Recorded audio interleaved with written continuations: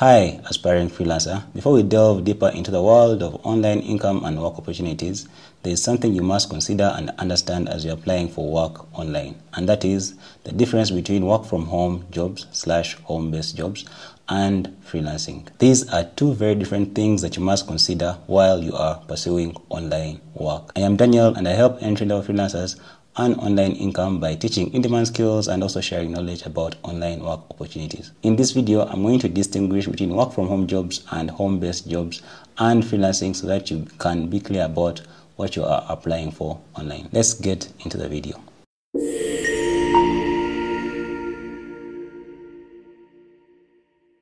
The first difference between freelancing and work from home slash home based jobs is with freelancing, it is basically like self employment. So you are basically self employed and you are your own boss. With work from home or home based jobs, you are employed by the client or the company and you are working as a remote employee. The next one is a freelancer works with clients but not for them. So they have more independence and autonomy. While with work from home jobs or home based jobs, the remote employee works for a company or employer and has less independence.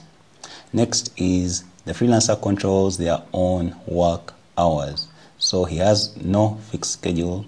He can work at whatever time he chooses to, while an employee typically sets the hours for the remote employee.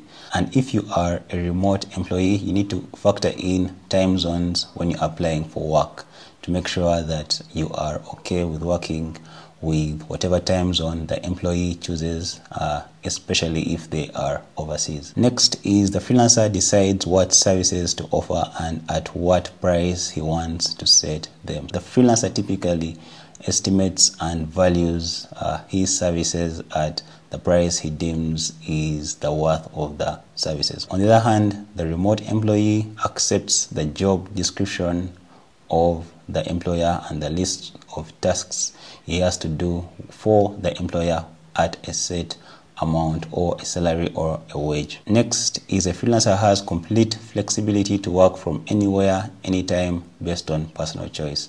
Remote employees are typically expected to adhere to the employee's work environment standards.